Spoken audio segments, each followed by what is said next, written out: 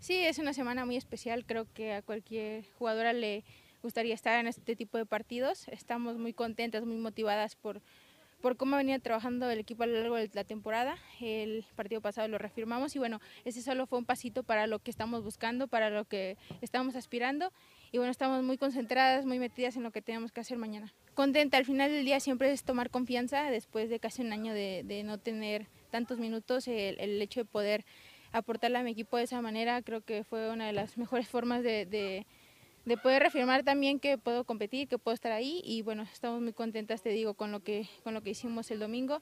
y ahora enfocadas totalmente a lo que viene, lo que pasó ya pasó y ahora tenemos que pensar en lo que viene. Sabemos de la calidad de cada una de las jugadoras que tiene y, y como conjunto. Nosotros eh, estamos más enfocados en lo que tenemos que hacer dentro de la cancha, en lo que tenemos que, que plantear el día del juego y qué te puedo decir, nosotras totalmente enfocadas a lo nuestro. Obviamente rival cuenta, pero nosotros vamos a salir a competir y hacer lo mejor que podamos. Sí, la verdad que sí, eh, creo que los últimos partidos han sido espectaculares para nosotros por la cantidad de gente que ha ido a ver y lejos de, de apoyar solamente al club es más allá eh, apoyar al fútbol femenil creo que está creciendo y la verdad es que es muy bonito entrar a la cancha y sentir ese cariño de la gente te inspira obviamente a, a dar un poco más de, de lo que puedes y bueno esperamos contar con su apoyo el día de mañana